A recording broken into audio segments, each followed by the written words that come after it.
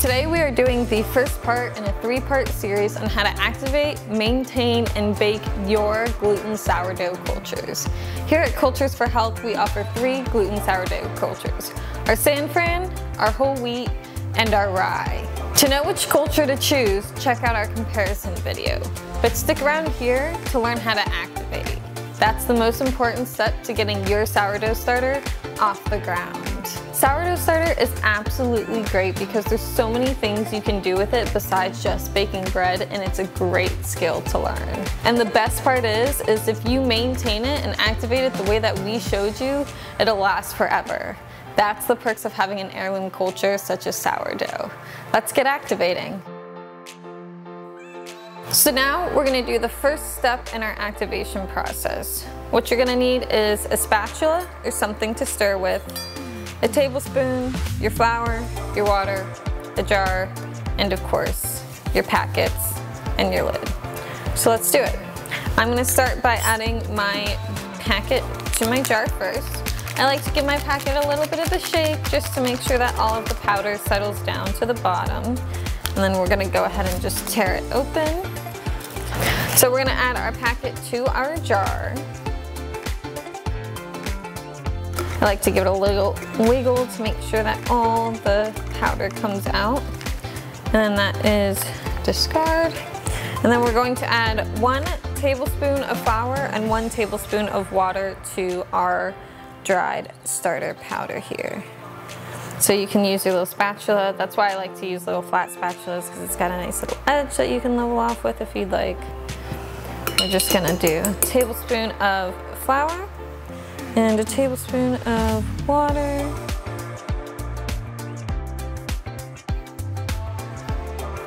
And then mix that up.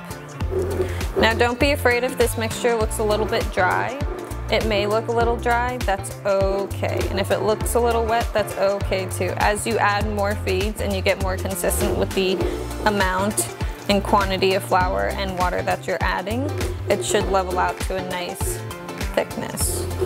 So that is the first step to making our gluten sourdough starters. Super simple, just add your packet in with your flour and your water and give it a nice little stir till it's all mixed.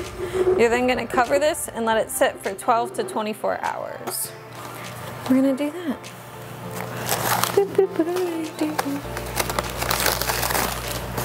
Right here, nice little topper. We like to double wrap our rubber bands just to be safe, make sure they're good and tight, and that's ready to go. Now that it's been 12 to 24 hours, we're ready to feed our sourdough starter. Let's take a look at how it's going. So right off the bat, it's obviously still pretty small, right? Because we just did our first tablespoon feed. Like I said, it could be a little liquidy, it could be a little firmer. It just depends on the moisture of your flour and the moisture of your air. So ours came out a little bit firmer and it dried out a little bit on top, but that's not a big deal. Um, it'll still work great and as we feed it, all of that will hydrate.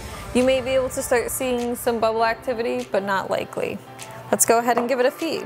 So our first feed next is going to be two tablespoons of flour and two tablespoons of water.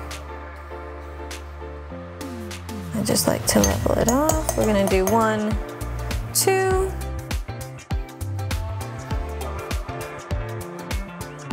and then two of water. And we'll give that a nice stir. The good thing about sourdoughs, you can't really overmix because the incorporation of all the air is helping the yeast. So we don't have to worry about mixing our sourdough starter too much. So make sure that you're giving it a good mix to get all of the flour hydrated and nice and working.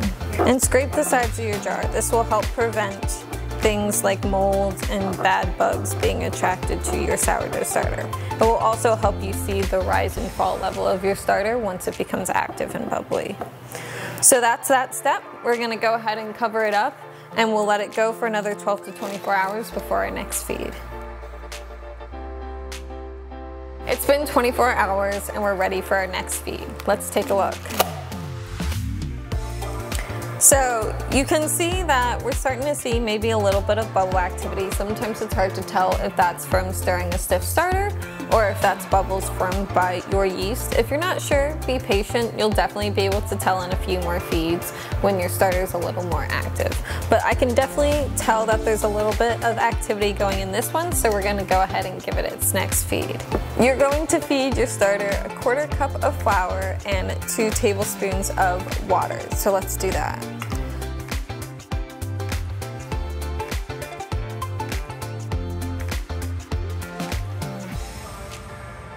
So level quarter cup and then two tablespoons of water.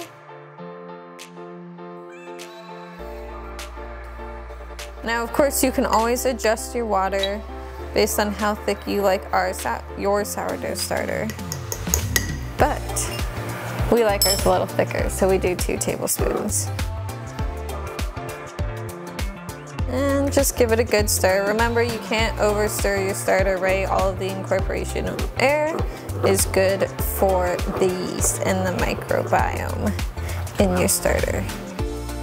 Once you're done mixing your starter, you're gonna let it sit for another 24 hours.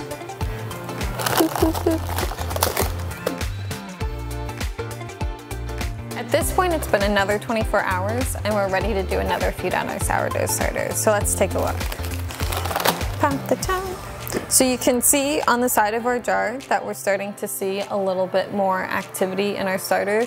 This is around the time that you will start to see some activity. Remember some bubbles we'll see from stirring and the stiffness of our starter if you like a really thick starter, but otherwise some of these bubbles should be the signs that your sourdough starter is starting to be active. So let's give it a feed. So we're gonna do half cup of flour and a quarter cup of water. So I'm gonna do that.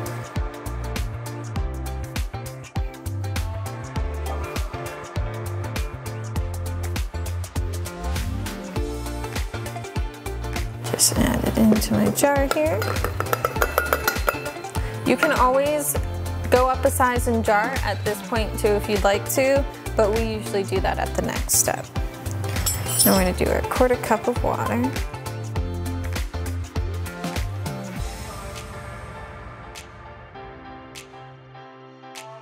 And stir.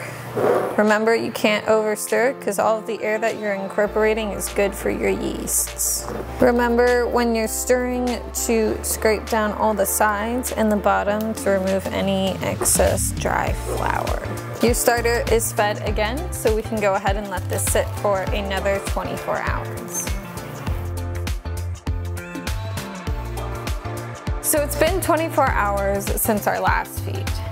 We fed a half cup in our last feed. Our sourdough starter is now the size that we want it to be in order to maintain it. So we're gonna start discarding a half cup and feeding a half cup regularly.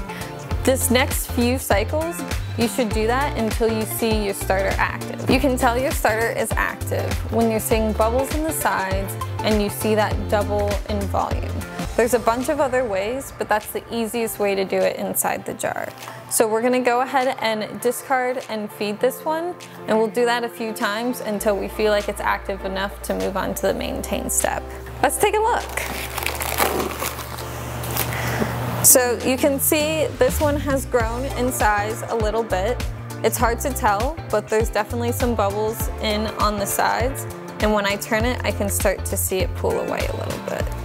So we're gonna go ahead and discard and feed. We're gonna go ahead and pull some of the starter out of our jar to discard the half cup and feed a fresh half cup. Remember to save your discard because we have a bunch of great recipes on the website for sourdough discard. And it's all healthy starter with great microbes in it, so definitely worth saving. So we're gonna take out a half cup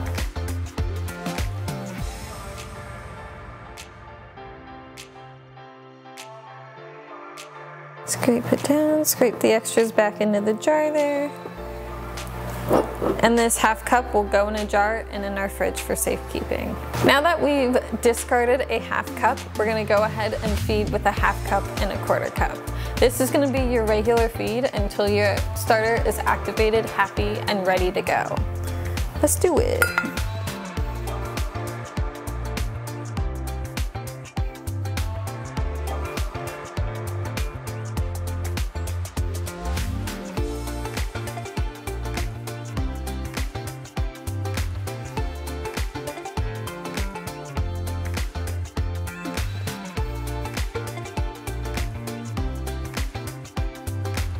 Then we're just gonna go ahead and stir that all together.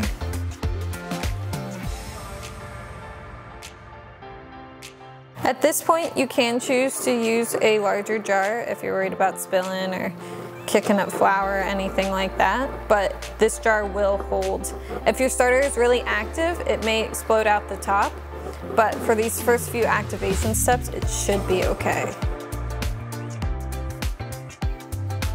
And remember to scrape down the side of your jar because that'll help starter from drying on there, potentially growing mold or attracting bugs or anything of that nature. So to the best of your ability, scrape down the side of your jar. That also just helps stay clean.